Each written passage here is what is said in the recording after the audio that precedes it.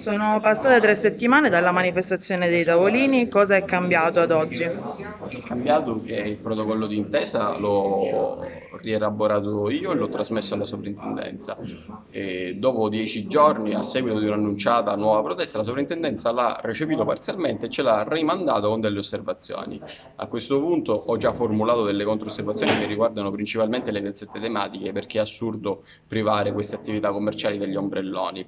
Martedì prossimo prossimo faremo una commissione insieme ai rappresentanti di categoria e, e degli ordini professionali in modo tale da uh, uscire da questo oh, torpore amministrativo che dura da anni.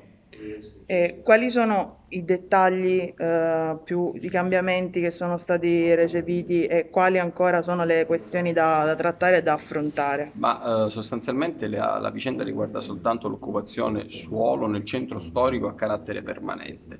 Le difficoltà sono dal, mh, venivano dal fatto che, eh, secondo un dato che mi dà la sovrintendenza, il 98% delle istanze venivano respinte. Ora il problema è alla base, o tutti i tecnici sbagliano le pratiche o c'è qualcosa che non va nel processo procedimento amministrativo. Probabilmente era la seconda, tant'è vero che eh, abbiamo già letto da organi di stampa che a piazza, sul Viale San Martino è, stato, è in corso l'autorizzazione del, mm, del, del, del, DEOR che era stato bocciato in precedenza eh, già da un anno, per cui se già gli uffici si rendono conto che forse avevano fatto una valutazione errata, allora stiamo introducendo un nuovo concetto di occupazione solo pubblico nella città di Messina.